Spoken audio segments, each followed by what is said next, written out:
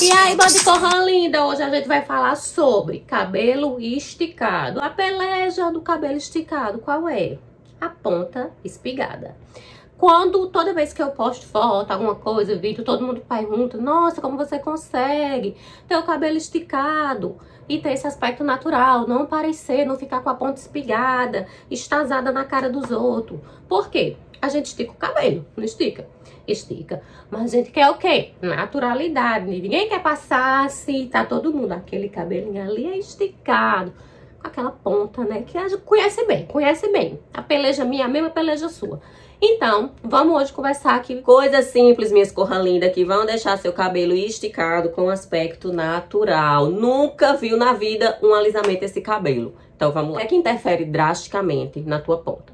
Saúde do cabelo, então, a gente vai fazer um vídeo aqui de cuidados, como os cuidados interferem nesse aspecto de cabelo alisado, esticado para um cabelo natural a química que você usa. Existem muitos tipos de alisamentos, já usei quase tudo nessa minha vida.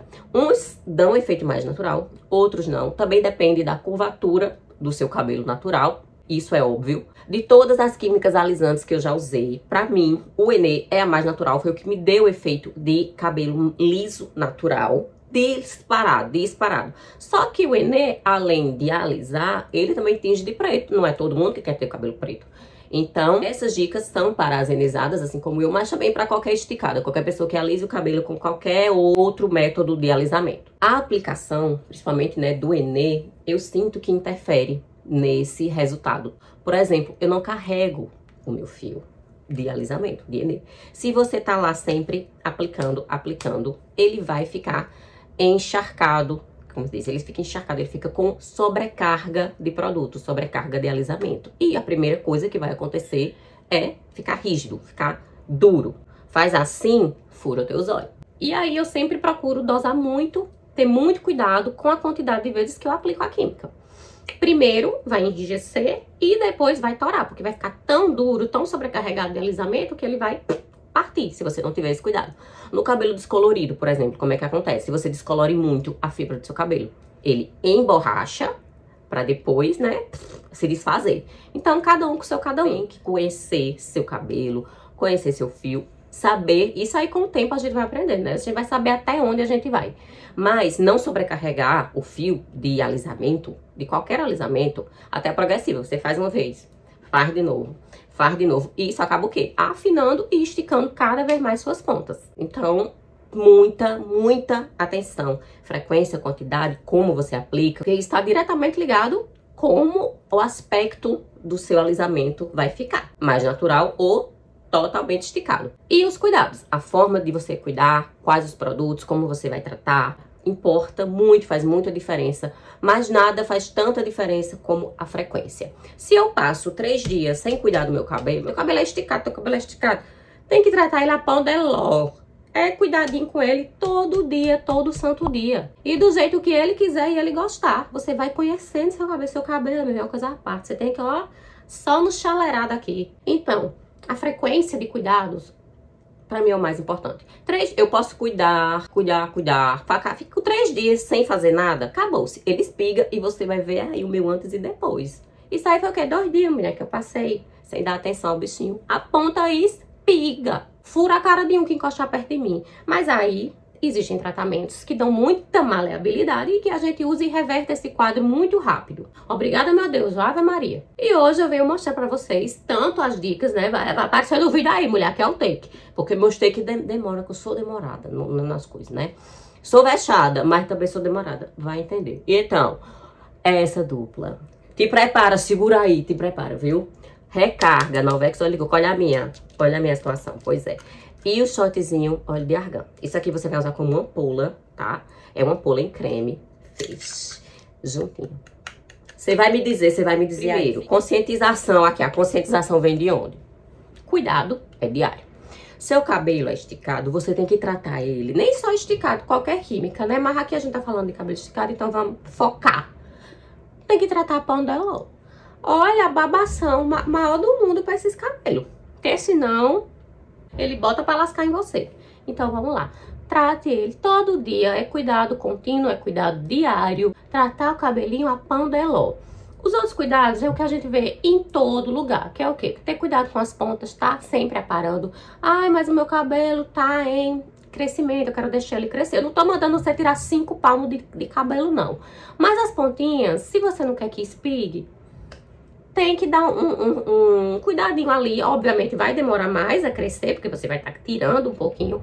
Mas, se você corta a cada quatro meses, um dedinho, o mundo não vai se acabar, vai crescer mais saudável, mais bonito, vai crescer, mas sem aquele aspecto desgraçador, derrotando com você. Eu, minha genética é o quê? É um cabelo fino, é um cabelo pouco, foi o que eu recebi de mãe e de pai, né? Foi o que eles puderam fazer por mim, fizeram pouco, mas é isso aí.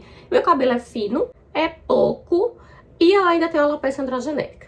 Então, existe um tamanho até onde ele vai mais organizado. Passando desse tamanho, já começa a, a ponta ficar horrorosa.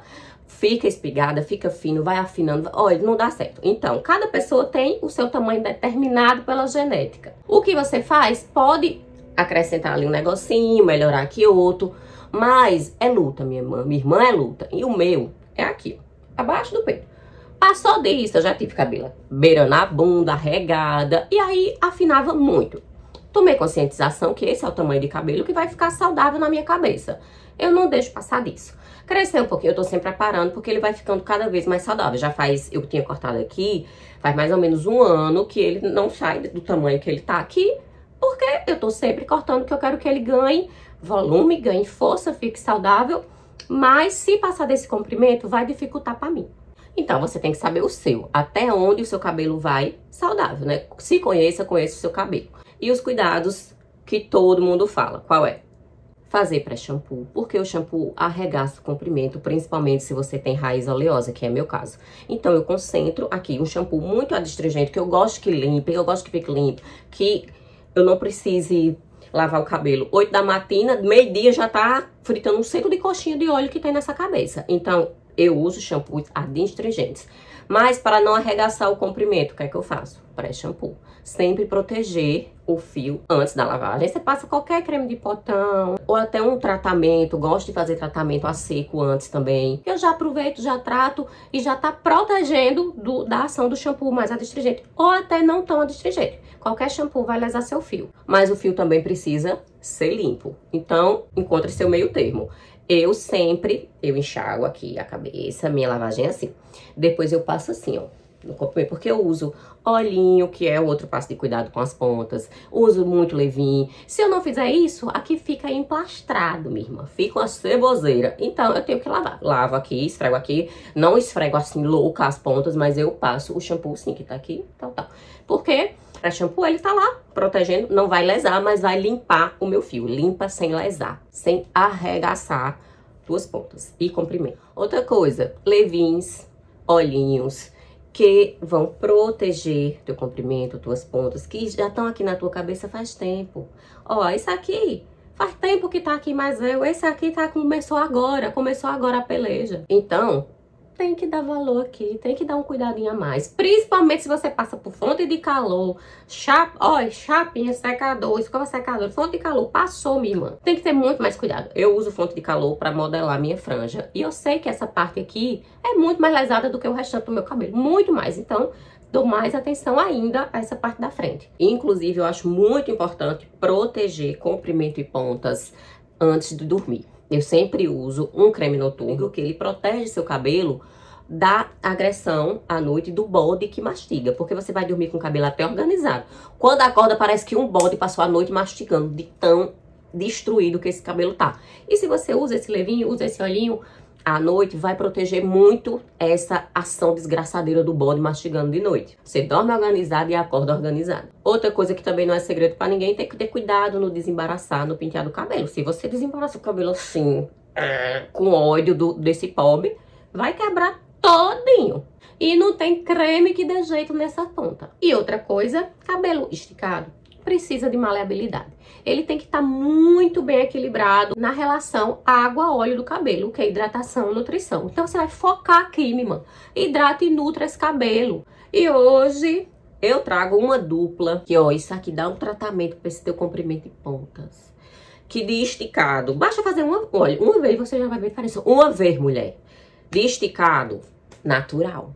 Esse cabelo esticado é o quê, menino? Voinha, eu sempre voinha, era índia. Esse cabelo é liso, liso meu na minha cabeça. Então vamos lá, você vai fazer o quê? Recarga Novex óleo de coco, que é lançamento. Lançou ela, lançou a de alecrim.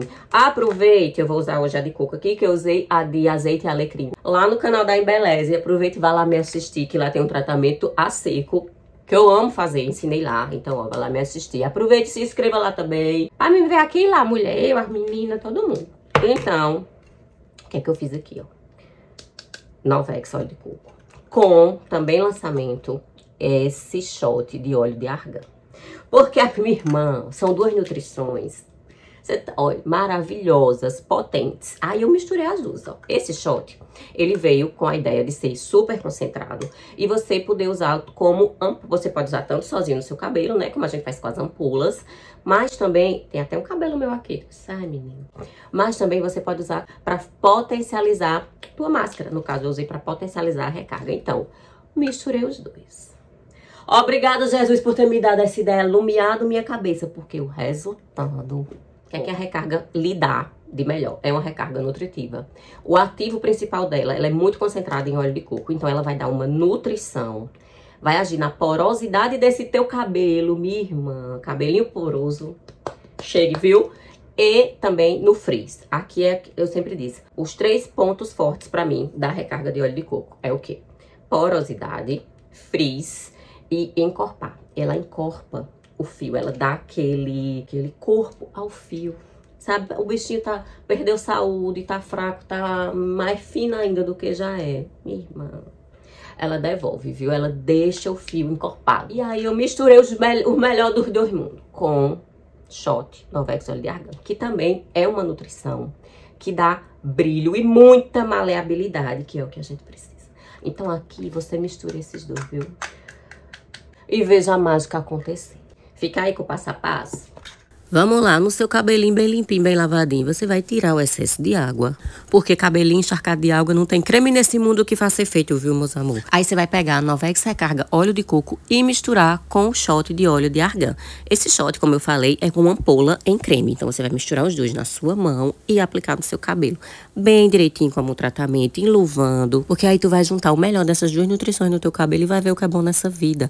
Porosidade, não vai ter não, mas não. Porosidade, frizz. Esses aí vão com Deus Deus e você vai ganhar muito brilho e maleabilidade. Depois do cabelo todo enluvadinho, prende e coloca uma touquinha. Essa minha é de borracha, eu gosto que ela esquenta bastante. E deixa agir aí, de 5 a 20 minutos. Aí depois você vai enxaguar e usar a Novex Recarga Óleo de Coco como um levinho. Como ela tem proteção térmica, você pode finalizar aí do jeitinho que você quiser. Com fonte de calor, sem fonte de calor. Eu não uso fonte de calor quase nunca, só para modelar a franja, mas aí nem isso. Mix, veio lhe dizer que esse é meu cabelo pós-sono pós-sono. Eu não consegui gravar ontem, fiz ontem o tratamento, não consegui gravar ontem, gravei agora, tô gravando agora de manhã. Depois de uma noite de sono. E eu não usei olhinho, e eu não usei nada. Isso aqui é, ó, olha isso.